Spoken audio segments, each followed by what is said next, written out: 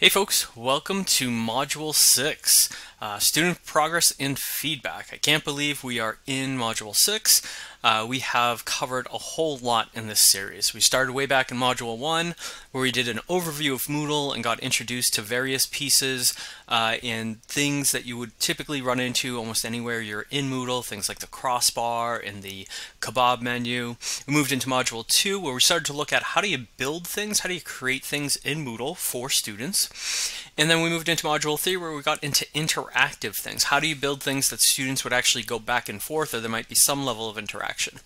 Module 4 brought us to discussions, and not just building the discussion in Moodle, but really considering what can a discussion look like? What can uh, -student interaction along with instructor interaction, how can we think about that differently uh, than the standard you post once and you reply twice to other students.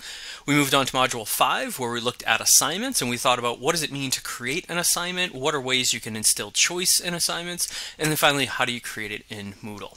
And finally in this module we are taking a look at the gradebook. So if you're paying attention we have kind of done this full arc around how we really get in and get started with building courses in Moodle. So we hope uh, we hope this has been really useful and we hope this final one, while it is a little bit shorter than others, will pack a lot of information and it is technical uh, in some ways and that is it is unfortunate, but it is also the nature of gradebooks. Uh, we sometimes think they're really easy, but when we get down to it, they can be pretty technical. So I just want to foreground that as we move into this. So the first thing I want us to talk about is actually that structure of the gradebook. And there's lots, you know, there's different ways of building out a gradebook, and lots of times it comes down to really two approaches the points version and the percentages version. So the points version are typically all of the assignments in the course have some points value. Those points add up to 100 or 1,000. It could be 200. It could be that one instructor we've all had who added it up to 375 points. It really does vary, uh, but ultimately the idea is that there's some total amount of points and students gain points by completing assignments. The other version is percentages. Now I'm making a difference here between points and percentages they're not a lot they're not very different on when you look at it in one way. Uh, you know if you look at it in certain ways they're not that different. When you look at it in other ways particularly as we look to program the gradebook or set up the gradebook they are different in how we're conceptualizing them. So the percentages is more about how do we uh, attribute certain portions of the grade to certain, certain categories of assignments. So you might have, oh, you know, in my course's discussion is worth 25%, and the final project is worth 30%, and uh, student participation is worth 20%. You know, you might have these categories, and you might give these categories percentages of that total grade. So this is what we mean. You know, do you do a point system where things just all add up, or do you do percentages where there is some calculation when whenever you have an assignment that's within a particular category, that's going to be calculated according to the percentage and how it contributes to that final score. Like I said, uh, on some level, these aren't actually that different, but in how we think about them, that will impact how we put them into the gradebook. The next thing I want to throw at you is thinking about participation. So many of us, I think rightfully so, have participation as a grade in the in our courses. And I've seen them anywhere from 10% to 50% of the grade. That's great. But the question is, how do students know their grade or how they're doing in that category? Uh, where does that show up? Because sometimes I see you know, participation is just one category or is just one grade in the grade book and it gets put in at the end of the semester. So there's a question about frequency and providing feedback and knowledge to students about how they're doing. Uh, and so there's a question of how often should you be providing that feedback. Uh, a good example I use in my own courses is when I'm teaching face-to-face and there's participation grade. Uh, I will have a item in the gradebook for every week or every two weeks, depending on the frequency that the course meets. And students will get either, you know, a check, check minus, or zero. Zero is they weren't there at all. Check minus is they, they participated, but they, you know, their, their contributions were superficial and check is that they showed up and they made a meaningful contribution. And that could be a question that could be uh, you know a variety of different things. And in the guidelines around this i give uh, further examples of what which each of those look like. And so I give that feedback either weekly or biweekly, which means the students know on an ongoing basis how they're doing in that category. There's no surprise when they get to the end of the semester in what their grade is. You know, their grade aligns with what they have been seeing in that regular feedback. The final thing I want to say is that feedback, as you can tell with what I just described, doesn't have to be you know, directly numerical to the students. I used a check, check minus, and zero. Uh, I can use lots of other types of scales for grades, and this is one of the things I like about Moodle, is it does allow for some scale for, for you to instill scales in a course uh, so that when you're giving feedback it isn't just a numerical value but it can be a lot of different things including emojis and we'll take a look at that uh, shortly but you can provide different types of feedback even when you're dealing with this uh, the gradebook as a, a numerical place. All right, with all that said, we are now going to hop into Moodle and we're going to start to take a look at the gradebook and understand it better. So once you're in your course, as always, when you want to go and take a look at the gradebook, uh, you find it under your course title, right under this tab here called Grades. When you first come here, typically the view is going to look something like this, what's called Grader Report. Now, Grader Report is just going to be a listing with your students in the left column and all the assignments that they have done in the uh, in the right columns, and that will extend as far as as many assignments that you have. So as you can see, here are all the assignments. And the column to the left, that or the, the third column is their what their total is. Now you're going to look at this and you're going to be like, what's going on here? One student has 796, the other has 100. Um, the gradebook isn't set up. And so I've created a bunch of assignments. I've gone in and graded some of them or all of them. And now, you know, it's doing, it's doing what it's supposed to be, which is calculating, but it doesn't have the right formula to calculate. So we're going to take a look at how to calculate that. But before we do, I just want to show some other ways you can view the gradebook that can be really helpful as you're starting to look and provide feedback. So the first actually is the grade history. Uh, this is a nice feature where you can either select a user or you can select specific items and actually get the grading history. And by doing so, you know, this is often useful if you're trying to remember, oh, did I upgrade, update that student's grade or did I do that? Um, or you need to change it for some reason and you forgot what it was before. So it's a nice little, you know, it's that second option on the on the drop down menu under view uh, that you can go in and dig into the gradebook on any changes that you've made. You can also, outcomes report you can skip. Overview report is nice in that it brings you to this page where you can kind of see an overview of a particular student and whatever courses that you are in with that student you will see both uh, you will see what the, how they are doing for a grade. So in this case I have this student in here in these two classes or I have them in all of these classes and this is how their grades are.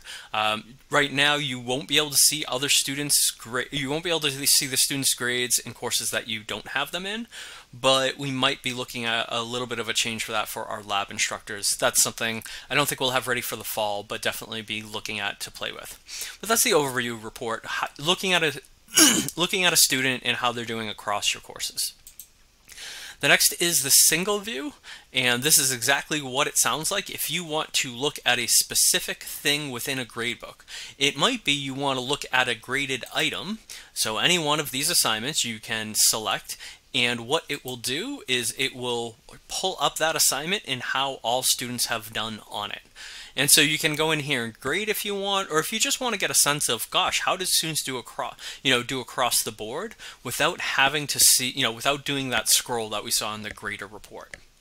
All right, we can also do this with users. So if I want to look at one particular user, I can pull that user up and see that I now have all of their assignments and how they've done on all of them any of the uh, feedback that I've given. Really simple, easy way to just you know look at a single thing within the gradebook. The user report is similar to the single view. The difference really here is you are looking at really what the student sees. And it provides you, you know, it's a little more clear uh, for students. So if we look at this particular student, Notice it gives us, you know, the grade and what the percentage is, what that calculated weight towards the grade is, and then any feedback that we happen to have had uh, given the student. So this is really useful because this is what the student sees. And so if you're trying to understand what the student is seeing or figure, you know, you want to actually meet with the student, you can pull this up and you, you, can kind of take a look through and have a good conversation about, you know, what's going on here or, you know, where, you know, I know she had trouble with this. It's just an opportunity for better discussion with all of the content, all of the grades and by feedback right there in front of you. So let's use a report. Uh, so now we can start to get into setting up the gradebook. Before, but before we set up the gradebook, I want to come down to scales. Because this is a cool thing that Moodle has, which is you can have assignments that aren't numerically graded. So you're not giving them a, you know, a 15 or 100 or whatever amount of points you want to decide, but you can give them textual feedback and you can also, as I found out earlier today, you can actually do emojis, which, you know, call me a little bit of a goof, but I kind of like the idea that if we could give, you know, on low, low stakes assignments, you know, something like maybe it is participation, maybe it is just the, you know, a weekly check-in or something like that.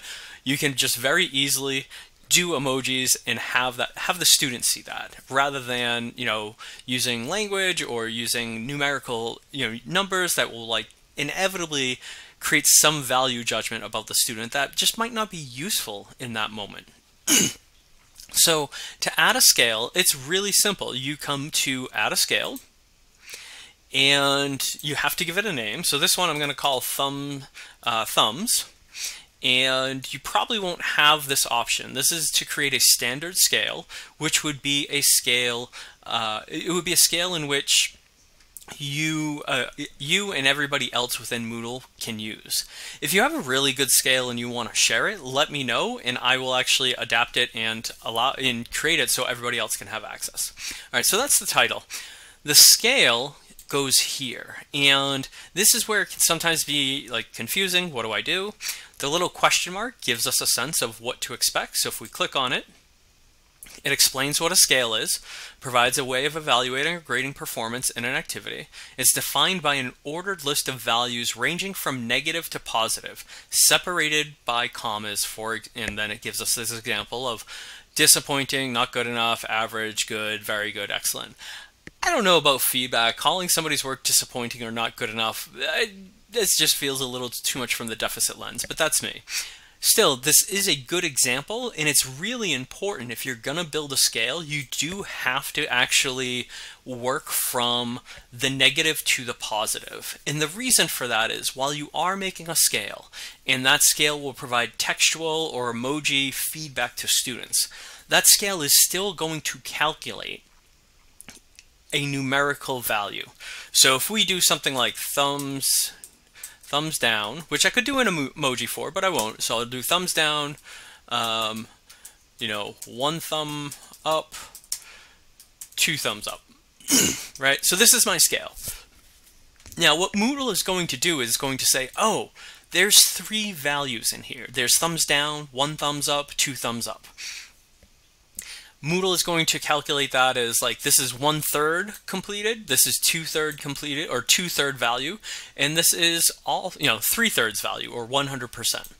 So just keep that in mind that this is still there's on the background of Moodle on the back end this will still be calculated numerically uh, within their gradebook. But for students' feedback, what they'll get is thumbs up, one thumbs up, or two thumbs up. You can provide a description if you want. That can sometimes be useful both for yourself and other people that are using the scale. And then you just hit save. And once you do, that scale shows up right here. If I want to edit it, you know, maybe I missed, maybe I want to do three thumbs. Maybe I have an extra thumb. Uh, I can hit edit, or if I want to, you know, I didn't like it, this isn't what I want to use, I can delete it. All right, so now we've created a scale. Excellent. And now what we need to do is actually set up the gradebook. So again, we come to the drop-down menu. We're going to go over to Gradebook Setup.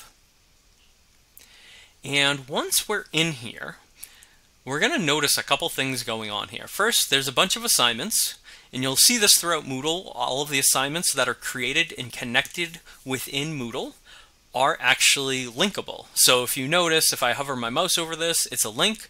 If I click on it, it's going to bring me to this assignment. That's really useful because if you're in the book sorry if you're if you're in your grade book and you're playing around and you're like oh wait what was that assignment again? Or what was the expectations there? You can always quickly jump to it with just that click um, so you'll notice that. You'll notice there's little icons next to each and that's telling you what kind of assignment it is. So the little uh, word balloon is a discussion. The you know the, the little people with two arrows is the workshop tool. The little upload sign is the assignment tool. Useful things just to know. It can give you a quick that you know when you look at makes it easier to figure out what what things are. All right. So all of these are here. And then when we look at the course total notice that it's 100% 100 so here is an example of a gradebook that is set up as points. The gradebook right now is saying, okay, all of these things are just simply added up and their total score will be out of this, out of 1,000 points. So if you are creating a gradebook that is a point, that is based on points, that's really all you have to do is actually create, uh, create the assignments, and then make sure that they are given the appropriate points and that those points add up to the point value that you're looking at. So if you were doing a thousand points and right, like if your goal in your gradebook was 1,000 points and you would you were in here and you're like, wait, this is listing 950 points, then you know you'd be missing an assignment or something didn't get uh, the right amount of points. Great. But if you're going to do a uh, percentage gradebook. This is where it gets a little bit more technical, and I just ask that you bear with me. I'm going to tell you to do a few things, and then as we do them, um, I will go back and help you understand what they are. So the first thing is, as a gradebook as a whole, you want to come up here to Edit, and you want to go to Edit Settings. Once you're in here where it says Aggregation, right? Aggregation basically is us telling Moodle how do you want to process the numbers here. And so you have natural, and then you have several other options. To find out what those mean, of course, you can click on the little question mark and it'll show you what those mean. So natural is the sum of all values, uh, sum of all grade values scaled by weight. Okay. What we want to actually choose is mean of grades. So we're uh, we're going to select mean of grades. And in this area, which is the, the setup of the whole gradebook, that's all we're going to choose. We're just going to choose that and we're going to hit save.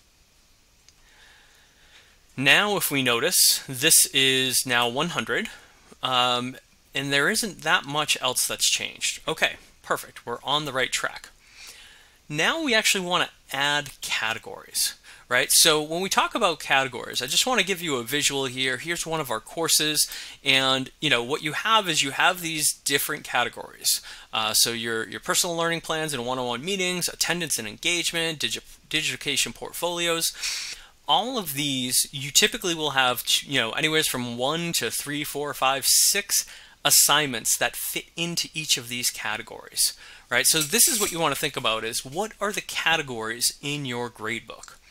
When you have your categories and you want to add them, you want to come right here to add category.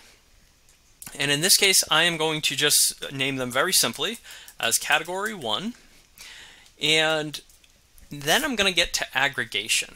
For this, I am going to either choose simple weighted mean of grades or mean of grades. So what is the difference here?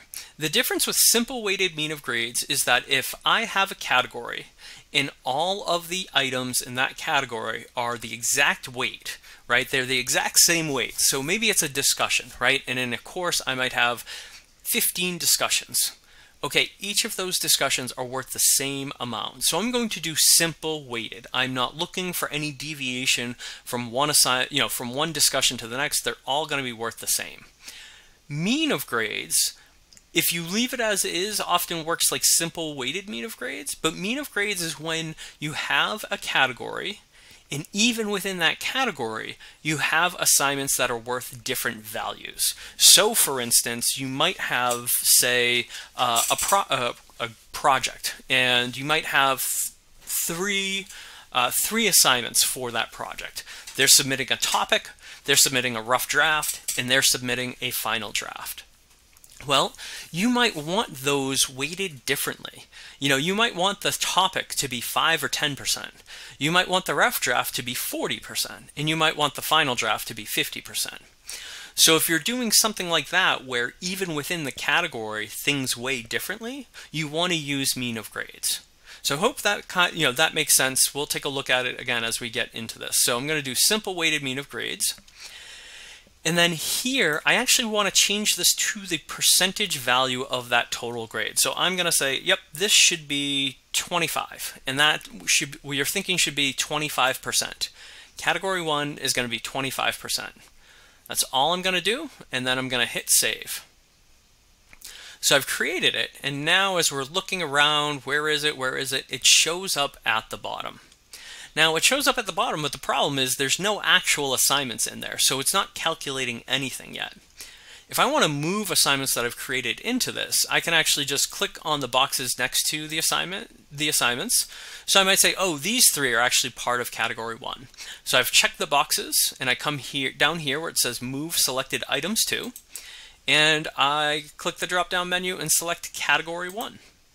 It's going to prompt me saying, are you sure you want to, to leave? I'm going to say yes.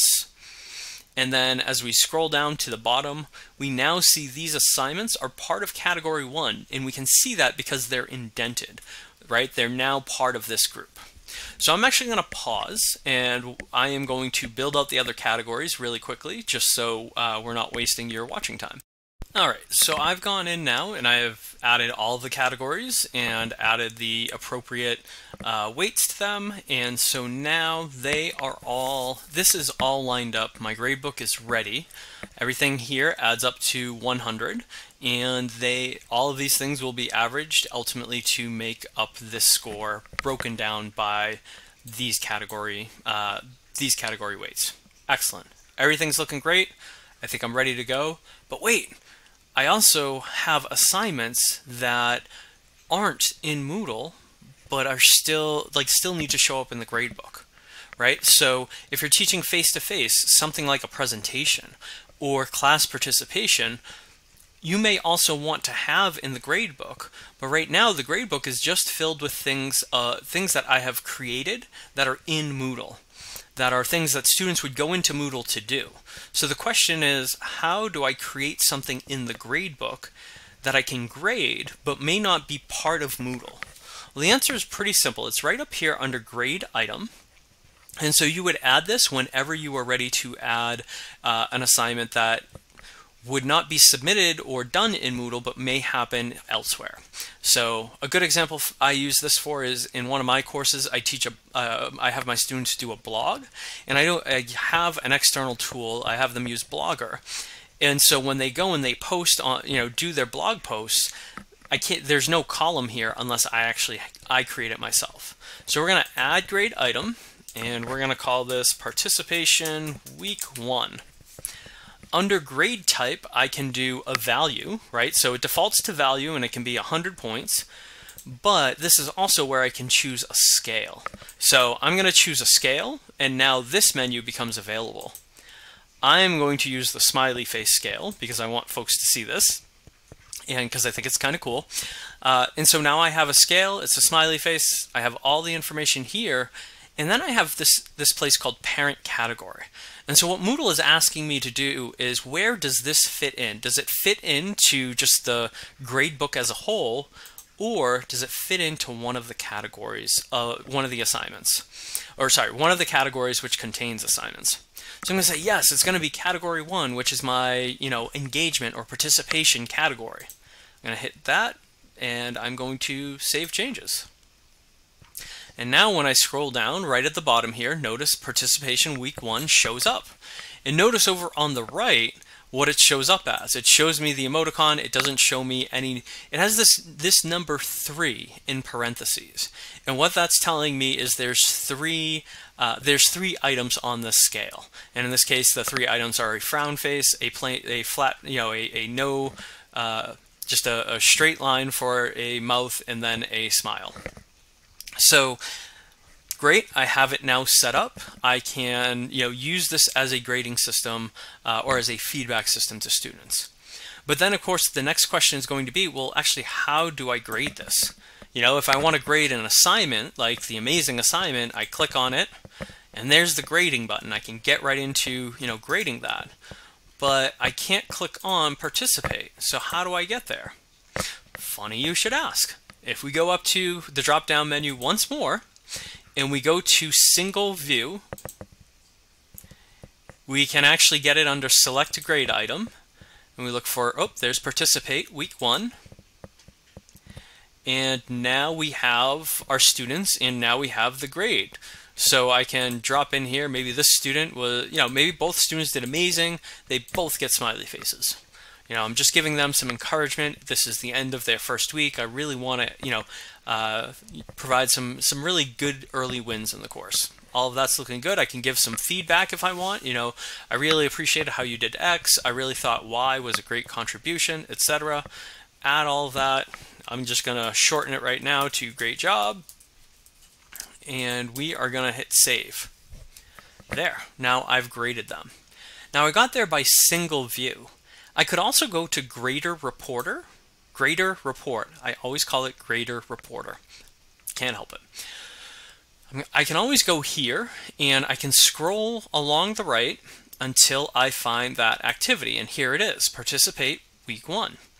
If I want to grade this column, all I have to do is click on that little pencil icon. I'll click on it, and here it does. It brings me back to that that single uh, single view uh, place where I can add those grades. So all of that's great. You know, all of that's looking good. Everything's going along well.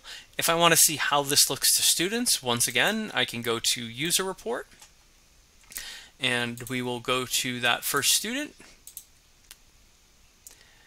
and here is our smiley face for that feedback. And here is that textual feedback that I wrote in. So that's the gradebook, right? It's, it's a little bit, you know, there's a lot going on here and you can get a little bit lost. Um, one thing you'll notice is that often like you'll go into it and it will leave you last where you it will have you where you last last left off. So in this case, you know, I went to grades and it brought me to user reporter uh, I can very easily get to Grader Reporter, and here I am back on the, that main uh, page. But there's lots of other, you know, just know that you can always come here to drop down and look at the different things.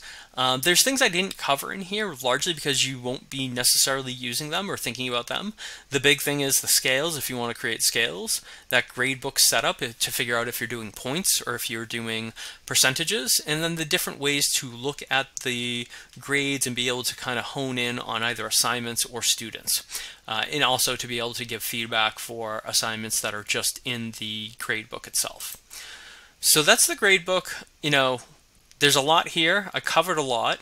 And if you're watching this and you're still watching this, then you're probably like, okay, I need to watch this again. And absolutely, it takes a little bit of time to get used to, uh, but it is a really useful tool. And the more you play around with it, the, the easier it becomes to understand its, its logic. So I hope this was helpful. Let me know if you have any questions and have a great day.